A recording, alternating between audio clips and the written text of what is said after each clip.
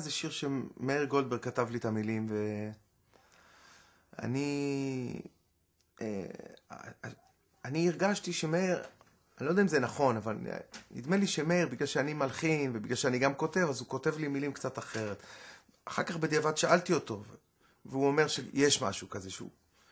כאילו יוצא איזה טקסטים שהם לא, לא בדיוק הוא ולא בדיוק אני, שהם יוצאים מין משהו יותר טוב. אנחנו חברים מאוד טובים ועובדים ביחד, מלמדים ביחד.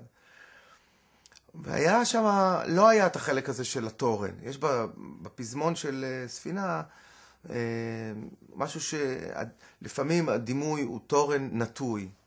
זה כזה, אתה יודע, אני כפוף כזה. לפעמים הדימוי הוא תורן נטוי, לפעמים זה אנחנו.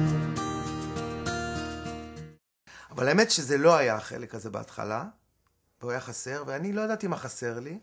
זה משהו שמאיר הוסיף יותר מאוחר. זה הפאזל של החיים. כן, כן, זה... ואני שמתי לב, שרתי את השיר הזה כמה ימים אחרי המשט.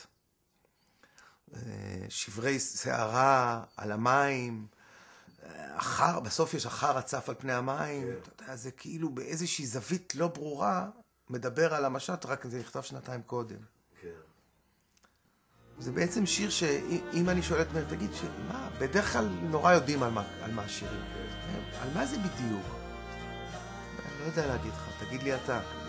זה נשאר במין מסתורים, בין משהו בבית, בין הפרטי לבין הלאומי.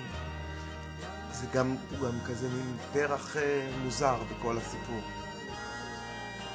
כן, עם לה לה לה לה כזה של ילדים כאילו.